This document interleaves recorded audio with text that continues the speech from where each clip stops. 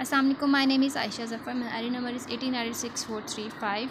Today I will discuss selfing and crossing technique in maize. So let's start. As we know that maize is a kharif plant and it is monoecious plant. Monoecious plants are those which have female and male part present on the same plant. Maize have tassels known uh, are male part and present on the upper part of the plant and it has cob which are known as a female part. Female part is located lower part of the plant. Usually maize plants are cross-pollinated crop. When we talk about the selfing technique in maize, we have to uh, take equipments like scissors, stapler, uh, stapler, butter paper, kraft paper, ethanol, tag and pencil. The selfing technique in maize consists of the following step. Bag the air shoot of the same plant with butter paper before the emergence of the silk.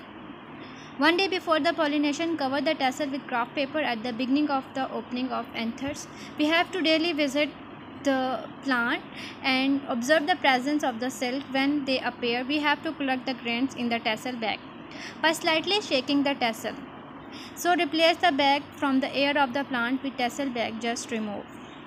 We, now we have to dust the pollen by slightly tapping the formerly tassel bag but now shoot bag. If the tassels are grow longer during pollination days, we have to cut them in cut them 1 inch with the help of scissor to facilitate the, the easy pollination. Then we have to leave the bag covering the air till grain to avoid contamination after this we have to clean our hand and instrument with ethanols. Crossing technique. The crossing technique occur if it is desired to make a cross between two plants such as A and B.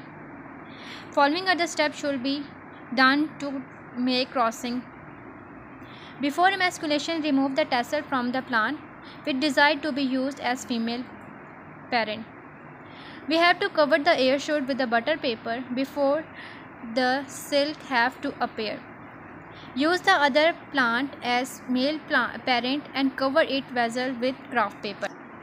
While the anther should have started in it at least 2 or 3 days before hand pollination. We have to visit the plant daily and observe the emergence of the silk inside the shoot bag. Then when the silks are about 1 to 2 inches long remove we have to remove the tassel bag from the male parent after this slight shake to collect the pollen in it and put this bag on the ear shoot for the female parent whose ear shoot was already bag we have to tap tap the bag slightly to facilitate the pollen shoot and it should remain there it is preferred to remove until to harvest these plants. Thank you.